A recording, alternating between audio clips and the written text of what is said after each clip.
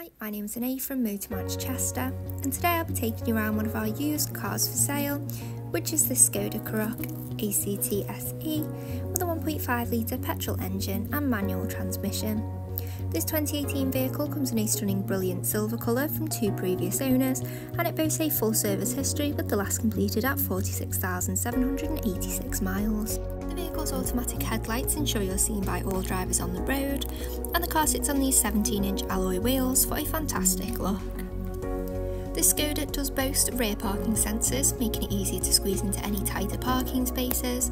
And moving into the boot now, as you can see the boot provides a great amount of storage space and you do have the option of folding the rear seats for any larger items if you wish to do so.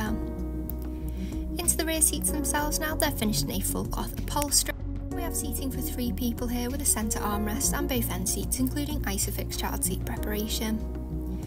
Moving into the driver's side of the car now, we have the front seats which have been designed with side bolsters to provide the driver and front passenger with excellent comfort on those longer journeys.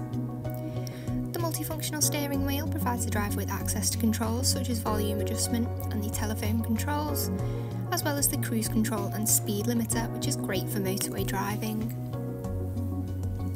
Taking a look up behind the wheel, you'll find the exact mileage and you can flick between functions such as your audio, telephone and any trip information.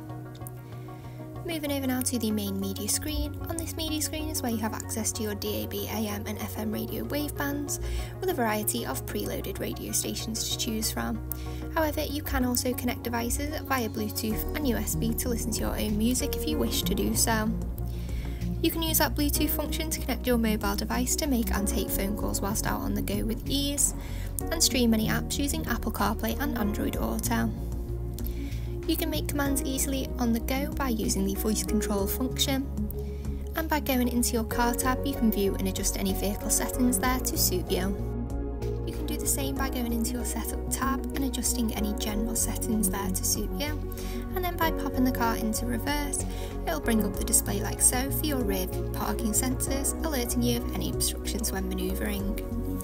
You can control your air conditioning from here. It's dual zone, ensuring the internal temperature is perfect for you and your passengers all year round. However, if you wish to do so, you can use the manual dials located just below the media screen. Below that, you'll find your ports for connecting devices, and then moving back, you have your leather trimmed gear stick with six gears. Just below you'll find your electronic parking brake and your armrest does open like so for storage of loose items and to reveal two cup holders. Thank you for watching this walkthrough video of the Skoda Karoq ACT SE and if you'd like any more information on this vehicle please contact our sales team here at Motormatch Chester.